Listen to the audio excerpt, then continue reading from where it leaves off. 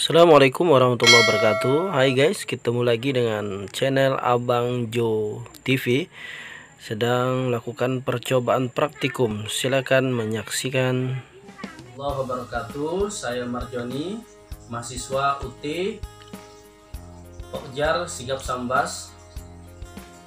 Sekarang saya ingin melakukan percobaan praktikum IPA Tentang pengelompokan sayuran dari praktikum ini dapat mengelompokkan sayuran berbagai macamnya.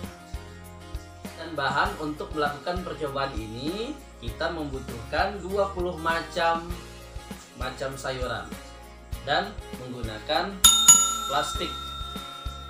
Caranya adalah kita masukkan sayuran-sayuran ini masing-masing ke dalam kantong plastik. Seperti ini masukkan. Kita kasih nama. Timun. Ya. supaya mudah nanti dalam pengelompokan.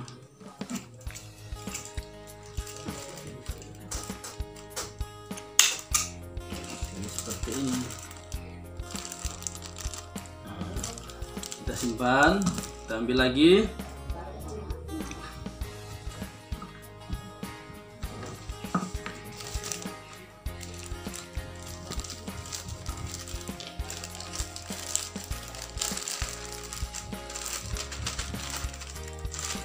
nama.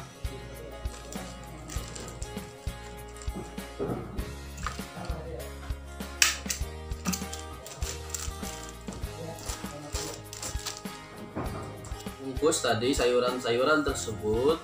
Jadi kita kelompokkan berdasarkan kelompok sayuran. Setelah kita bungkus seperti ini ya kita susun. Ada timun ya, ada cabai ada daun singkong ya, ada pepaya daun pepaya. Tauge kangkung. Ada tomat. Bayam. Kentang. Wortel. Kita kelompokkan berdasarkan masing-masing kelompok ada sayuran daun ya, sayuran yang dimakan adalah bagian daunnya. Ada daun pepaya ada kangkung bayam daun singkong. Kemudian ada sayuran buah. Sayuran yang dibuat sayur atau yang dimakan adalah bagian buah. Ada tomat terong cabai timun kemudian ada sayuran umbi atau akar. Ada wortel ada kentang. Kemudian ada sayuran kacang-kacangan. Ada kacang merah ada kacang panjang. Ada sayuran daun ada sayuran buah ada sayuran akar ada sayuran kacang-kacangan. Ada lagi sayuran yang diolah menjadi makanan sayurannya sayuran tunas. Apa itu adalah tauge. Sayuran tunas.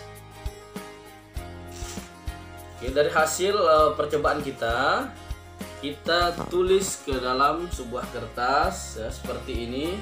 Ya, nanti tulis nama-nama sayuran kemudian kita centang. Sayuran daun apa saja sayuran buah apa saja sayuran akar, sayuran kacang-kacangan, sayuran tunas kita checklist. Oke baik. Demikianlah tadi percobaan tentang praktikum IPA tentang pengelompokan sayuran. Semoga bermanfaat buat kita semua. Assalamualaikum warahmatullahi wabarakatuh